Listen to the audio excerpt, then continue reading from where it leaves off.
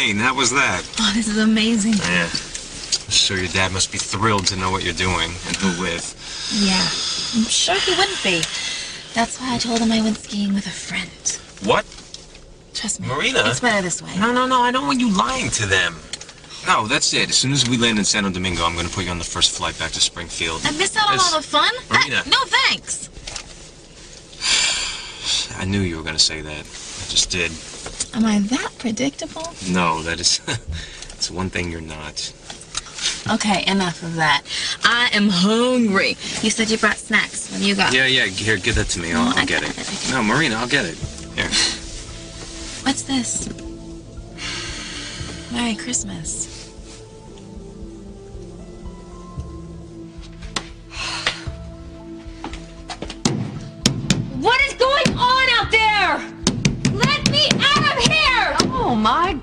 Goodness, Michelle. What's all the yelling about? Holly, if this is pity, No. No pity. no. God. I wanted you from the moment I laid my eyes on you. But I never dreamed that you would want me. You understand me. Maybe you understand me better than anybody since Roger. Yeah. You understand me. Holly. Be my salvation.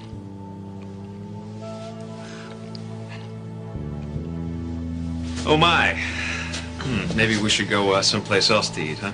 No, no, you trudged me out here into the cold to have dinner. So what were you doing? Avoiding my leftover meatloaf or my son? If you're cold, we should go inside. I'm not gonna let you off the hook. Reva, I, I can tolerate your meatloaf, okay? Oh, golly, thanks. No, I, I mean, I love your meatloaf. What is wrong with you? Nothing. Reva, Jonathan said he had no interest in being at Cassie's wedding. well, that's a good thing, right? I mean, he's not invited. Yeah, well, he rented a tuxedo. So he's planning to Salespeople what? said, well, no, they said that he was using it to go to his aunt's wedding. He's going to crash Cassie and Edmund's wedding? I don't know. I don't know. I mean, why would he? Maybe because he wants to ruin it. Oh, hey, what are you guys doing out here?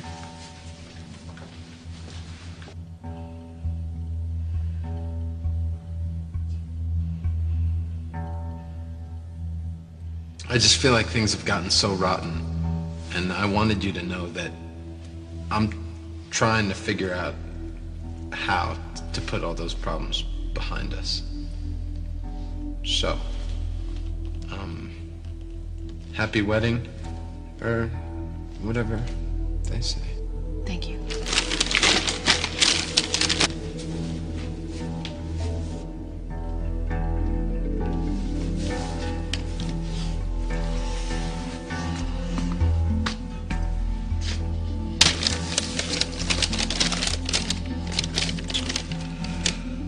Tossed in the trash.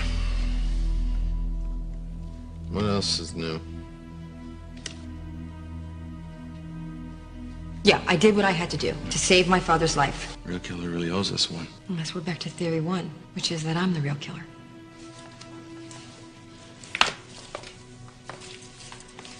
Philip hated that picture of himself. He didn't much like these big parties either. Yeah, well, I guess it runs in the family. Must. We could leave, you know. Go get a drink if you want. No. No, you're uh, the CEO of Spaulding Enterprises. You know, maybe it won't be that bad. Philip's murder has been solved. The murderer's gone. People can finally start to move on. People like you and me. Well, I- I'm trying. Are you? What exactly does that mean? It's just, you know, most of us have gotten some relief from Ruth Karloff's confession, but not you. Why is that? Because I started to get to know her, I guess. I don't buy that. Maybe you think that she didn't do it. In which case, you think that the killer is still out there, walking around free.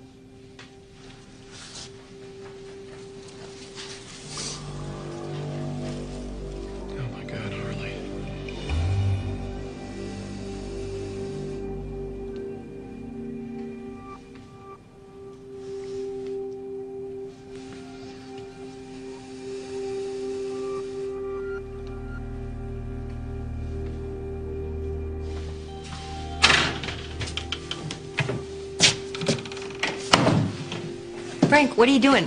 Loitering out there like a homeless man. Come on. Where is your Christmas spirit? Okay, so this one you have to wrap in the Santa paper, okay? Okay, uh, what did you do? Buy out the whole toy store? Well, I, I know it seems like a lot, but Zach and Jude have been through so much these past few months, and I just, I just want everything to be okay. Yeah, well, Zach, he lost his father. And I don't think any amount of toys here is really going to change that. I know. I just want him to be happy. Well, Harley, you can't pretend that uh, none of this has ever happened. I mean, Philip's death has really changed a lot of people's lives forever. Of course it has. But the investigation is closed. So now we can all move forward. Are you having trouble letting go of this? I just think it's time for people to start taking responsibility for their actions, I agree. like me. I think Ruth Karloff would be alive right now if I didn't scare her to death on that bridge. She would have jumped anyway, Frank. She would have. Yes. And you were just doing your job. And she was not so innocent. I mean, she killed Philip. She confessed to it. Yeah, but I believe that some people's lives are worth something. Even Philip's. I know at the end Philip's life started to unravel and all that, but I honestly believe that Philip's life was still worth something. And I think that somebody needs to pay for, for his death. Someone has paid. And I think it's time for you to put it out of your mind. I'm sorry, sis, I just can't do that. You know about Jonathan running the tuxedo? Yeah. Don't say anything to Cassie. Don't say anything to Cassie about what? Uh, uh, the wedding gift that we got for you and Edmund, because it's a surprise. Big surprise, yeah. Oh. I mean, I really can't believe that it's just in a couple of days. I mean, what can I do? Well, I had a little run-in with the florist, but that's all straightened out. Well, so- then let me do something. no, no, everything's fine. Well Wedding done. stuff, Cassie. Let me do some wedding stuff. Okay, let me know Christmas what I can do because I'm sure Marah's going to want to help out too. I need to talk to you about Christmas, Reva. What about it? No, do not do this to me. I can't come to your house on Christmas, and I'm sorry. I hope you understand. I understand, Cassie. Tammy won't be in the same room as Jonathan, and I'm not going to ask her to. Taking care of Tammy is my number one priority. I'm sorry. I know, I know, but what about Marah and Shayne? You They know, can they you're can come out to the them. farm. They can come see me tomorrow night. I have their presents. I do. I hate this. So do I. But you have some kind of obligation to be with Jonathan and include him. It's so more than just an obligation, Cassie. He ripped this family apart, and that's not changing anytime soon. Well, tell me what I can do so that we can spend some time together at Christmas. Don't invite Jonathan. How can you ask me that? Reva. You asked your sister what you could do to make things better, and she told you. It's up to you now. You can't have it all anymore.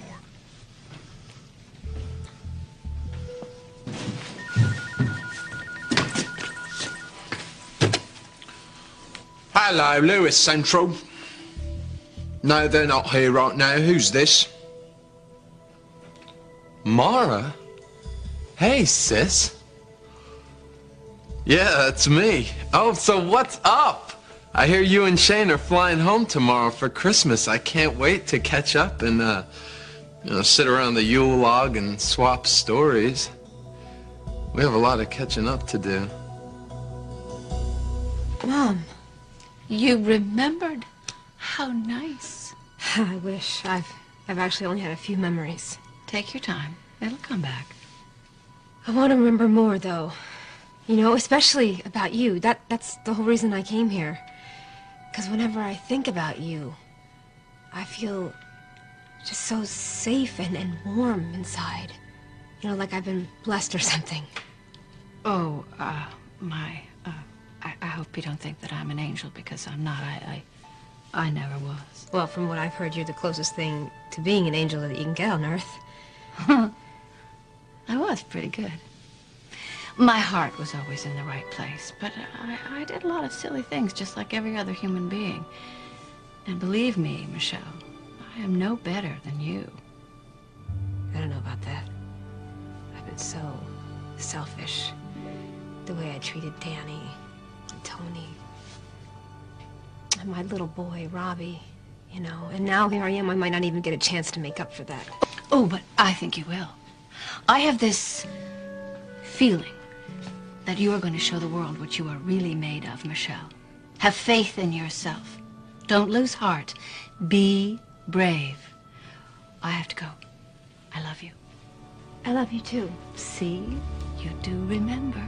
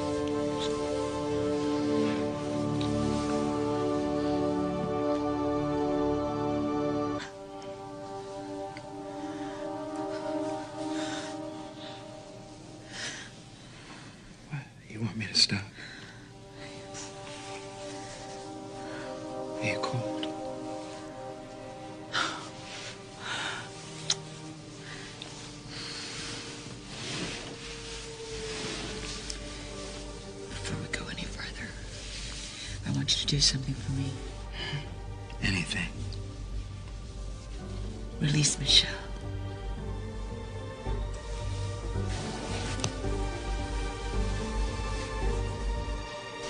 I gotta say, a load of one more phony.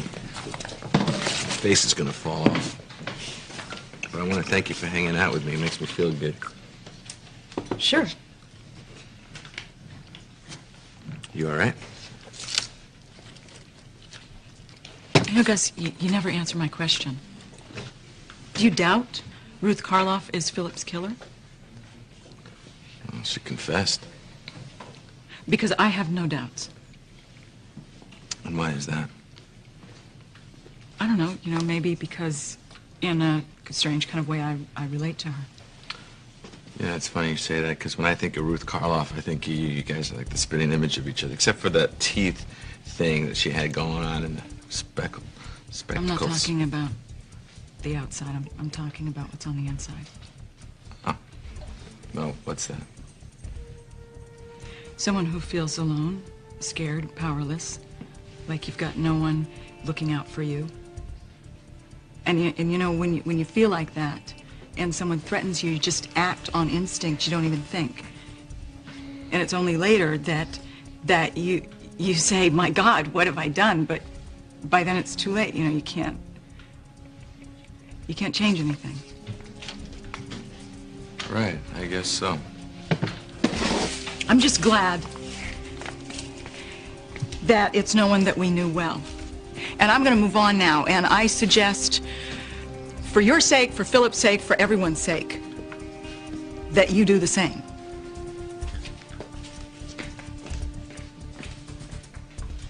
Okay, Scrooge. We're gonna have to teach somebody to have a little Christmas spirit. That's what you used to always say to me when I was a kid. I'd get so depressed at the holidays because mom and dad weren't around, and you'd tell me to stop focusing on the things I didn't have and focus on the things that I we did have. do have. Exactly. Well, we didn't have much. We had each other. And you made sure I had a great Christmas, Frank, every year. Do you remember when you were about seven or eight? I took you to Egan's department store just before Christmas, just to look around because God knows we didn't have enough money to buy anything. and they had that big tree in the lobby. Biggest one in town. hmm And there was a big silver star on top of the tree. What did I tell you? I told you that that was a message from Dad in heaven, that he would always be with us and always keep an eye on us, right? Made sense to me at the time. Yeah. Well, unfortunately, um, I was looking in a display case in the lobby, and I lost sight of you. And next thing I knew, you were up in the balcony, standing on a railing with arm, one arm wrapped around a column and the other arm stretched out trying to grab that silver star. And you're about 10 feet away from it, so God knows what you were thinking. I, I was thinking I wanted that star. yeah, well, before I could even get your name out, you fell. You slipped and you fell and you went down the center of the tree and you landed right in the lobby and everybody, Everybody was screaming. screaming, and thank God that tree stopped my fall. I would have broken my neck. You were very lucky. You barely got a scratch. Except for that nasty gash on your arm that needed stitches. Yeah, I still have the scar. Look. Yeah. I know. Every time I look down at this scar, it reminds me how I failed you. Frank. If I had just didn't kept a better me. eye no. on you, none of this would have happened. No, no, If I Frank. had just Frank. Oh my gosh, are you crazy? I was I was out of control. I was always doing things I shouldn't. I never thought of the consequences. Yeah, and you still don't. Once you get an idea in your head, that's just what you do. Okay, come here. Listen to me. Tis the season to be jolly, not maudlin. You don't understand how much I love you, do you?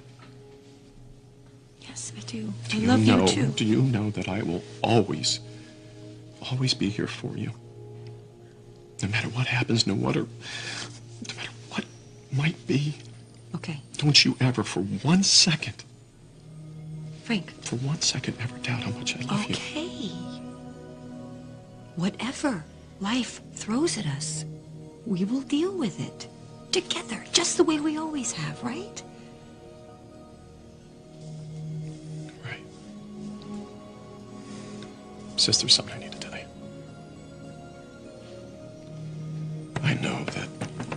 Wait, wait. Oh, that's Zach. Just hold that thought one second. Me going there for a while, Holly, I really actually believed you cared. I do care about you very much. I, I want to stay with you and take care of you. Of my own free will. You don't need Michelle. Just let her go. Free will. Holly, Holly, look around you. You have no free will. You and Michelle are at my mercy. Until I say so. It's Marina. Okay, hold on.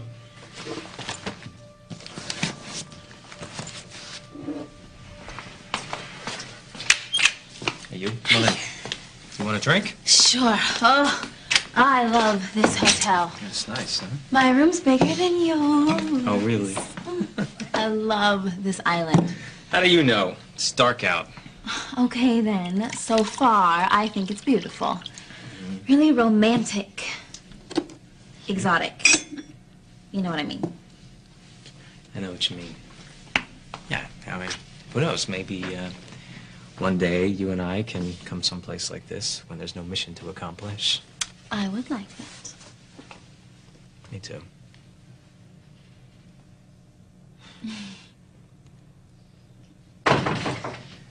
Yeah. Okay, uh, one second.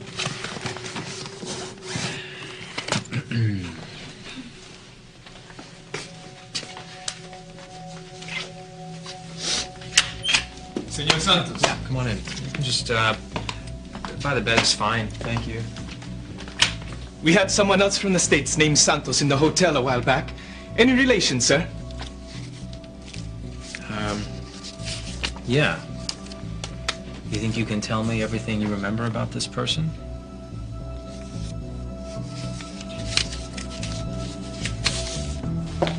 Should I go out there? Reva said she wanted time. Let's give her time. Do you think I was too harsh on her about Jonathan? No. I think she needed to hear it. I would give him a chance. But I don't see a flicker of remorse or regret in that kid. Something, though, I think you should know. Edmund and I, we had a little talk about Jonathan. We made a pact. You and Edmund. Yeah. Well, we have a common goal to protect you, Tammy, Reva, and to make sure that Jonathan doesn't show his face at your wedding. Hey, I'm glad I found you here. You just got a call at the house from Marah. You spoke to her? Yeah. Yeah, it'd be kind of rude to pick up the phone and not say anything, especially when it's your own sister. I told her I'd give you the message ASAP. Did she happen to say what time her flight gets in? No, that's the thing. She and Shayne aren't gonna be able to make it for Christmas, after all. Bummer, huh? This uh, other hotel guest named Santos was a woman? See, there was a woman. Yeah. Um. Okay. Was it her? See, she's the one. And uh, was there a man with her? Him? No, Him. That's him. Senor and Senora Santos. They were on their honeymoon. They seemed very much in love.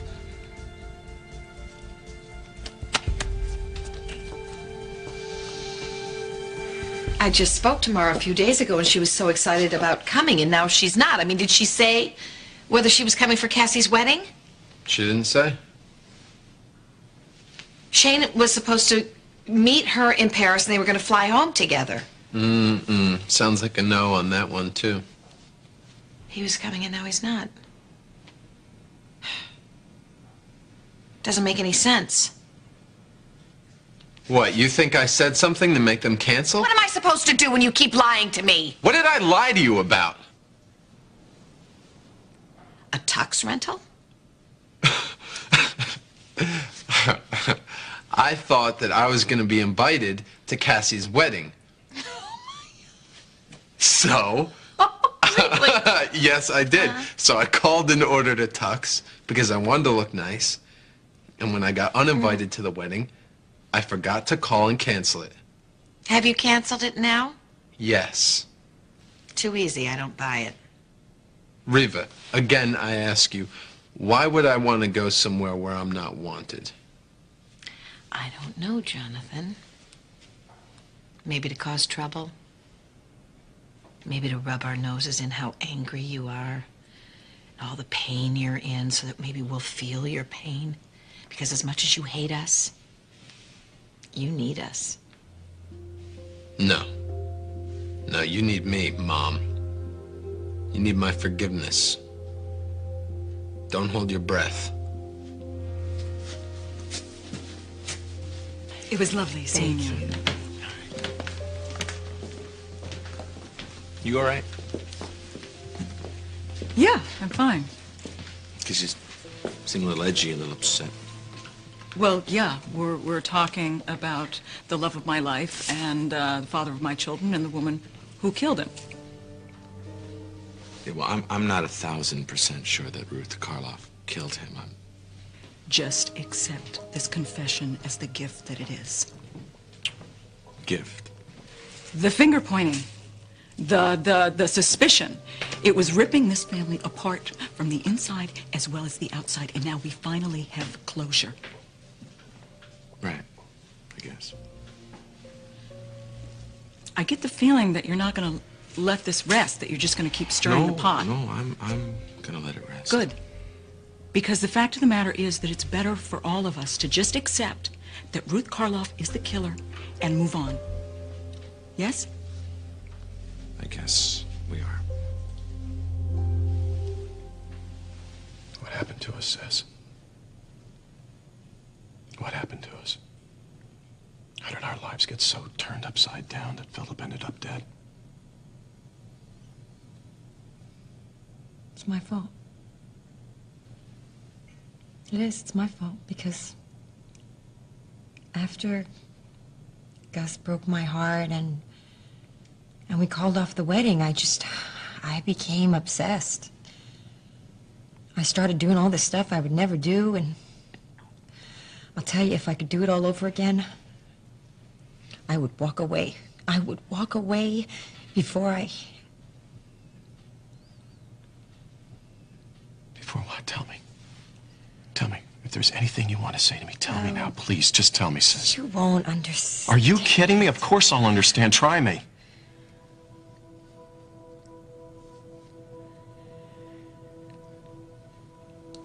I miss Gus. I do. I know. It's terrible. It's just that. You know, last Christmas I thought that this Christmas we'd be a family, and now I know that can't be because all this other stuff has happened, but. I tell you, there's all these moments with him, and I just.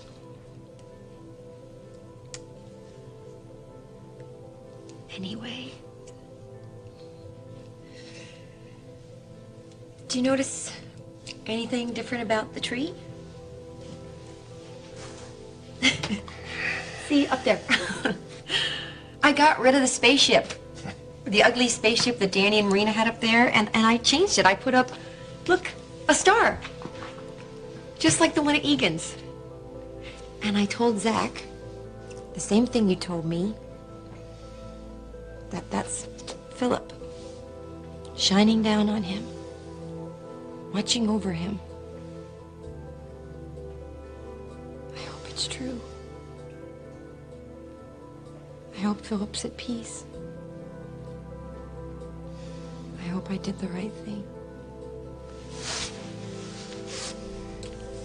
What did you do, sis? What did you do? Please tell me. Please let me help you. Do you think I enjoy doubting you all the time? I don't. Joshua! Hello, Jonathan. Hey. I'm gonna go see what Aunt Liv is up to. I'll see you guys back home. No, that's why he came here to see Olivia. No, actually, he, um. He, he spoke to Marah. He got a call from her that she and Shayne aren't coming home for Christmas after all. What did he say to Marah to make her not want to be here? I don't know. I really don't know. Maybe nothing. I'll call Marah tomorrow and find out. You know, I've been thinking about what you and Cassie asked me to do. And I can't make Jonathan leave the house for Christmas. You can, but you won't. We'll find another way to spend Christmas together with Cassie and her family. You know, we'll maybe go out to the farm or something like that. Okay? I mean, you understand. Hey, Aunt Cassie. How's cousin Tammy? Don't even say her name. Oh, come on. I really like Tammy. I feel really bad about our misunderstanding. Your misunderstanding. Okay, you're right. It was a little more than a misunderstanding. I lied to Tammy. She was hurt, but I really, truly feel that we can get past it. I don't think so. Already she's softening up. It's a long process winning her trust back, but I feel like I can get there. And it gives me hope for all of us that we could be a family. One day, Tammy and I are gonna be really close again.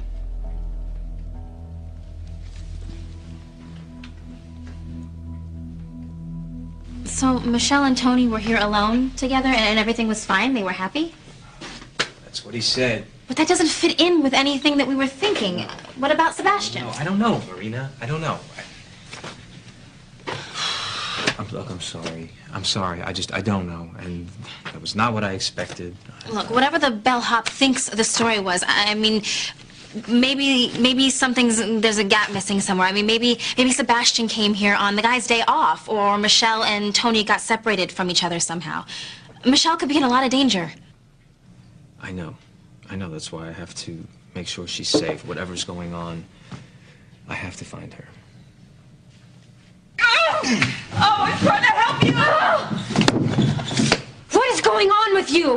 Sebastian is weak. We could have overpowered him just now. You have no idea. He's stronger than you think he is. This is just like the other day, Holly. If you hadn't warned him about that tranquilizer, we could have escaped. You could have killed him. So what? You know what I think?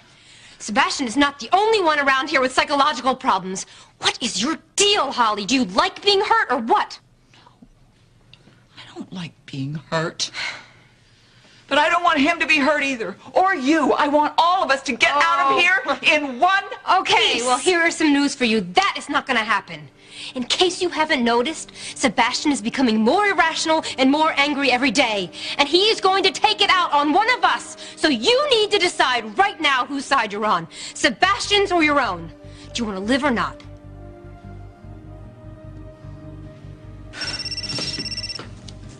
What? Senor Holmes? This is Ricardo at the hotel. You asked me to keep an eye out for Senor Santos. Tony Santos? He's at the hotel? Not Tony Santos. This man's name was Danny Santos. Danny Santos is at the hotel? He showed me a picture of you, senor. He's looking for you. You know what I think? I want all this talk of Phillip in the past. And I want to concentrate on the present. At least until after Christmas. Wouldn't you like that? Wouldn't you like to take a break? A break from all this depressing stuff. I would. So then let's do it, okay? Let's just concentrate on having the best Christmas ever for the kids, you know? One that they would always remember. And then after Christmas, we can let reality rear its ugly head again. Please, for the kids' sake. I guess I could do that, sis. Okay. We will keep reality at bay until after Christmas, okay? We'll just think nothing but positive thoughts. Yeah. After Christmas. And then, you know, when the world comes crashing in, maybe you will have the strength to tackle it. Okay? I gotta go do something, though, okay? I thought you were going to help me wrap presents. See? What kind of big brother are you? Deserting me in my time of need. Never,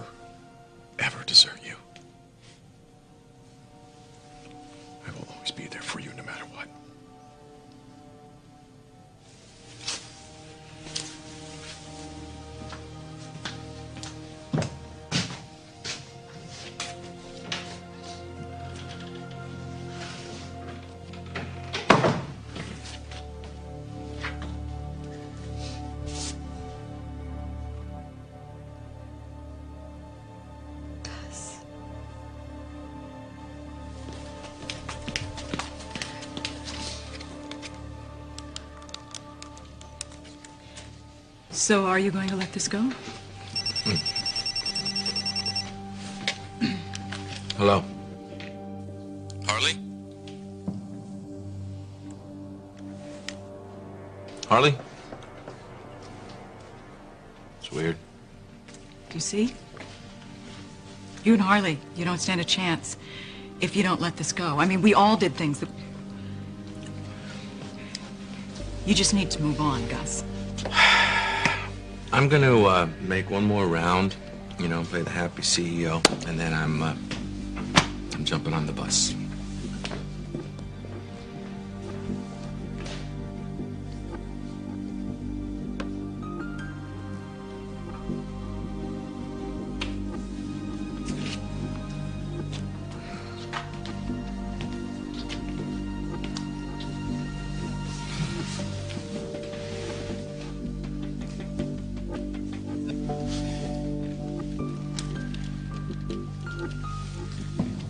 It's Cooper. Listen, I have another suspect in the Phillips Spaulding murder case.